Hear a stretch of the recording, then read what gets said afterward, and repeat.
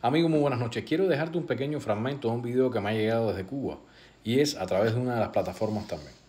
Quiero que veas cómo actúa la juventud cuando está bajo los efectos del químico. Como zombies por las calles, este mal se ha enquistado en la sociedad cubana, un cáncer que no tiene solución. ¿Y por qué no la tiene? Porque las autoridades de la dictadura no han hecho absolutamente nada por tratar de erradicarlo y mucho menos combatirla.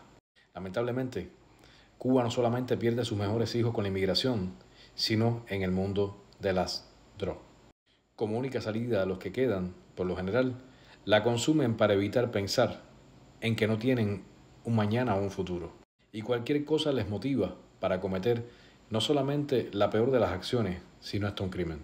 Yo soy niño reportando un crimen y te invito para que me sigas en la plataforma de TikTok, de Instagram y también en YouTube. Aleja a tus hijos de este mal. Aleja a tus hijos de las drogas.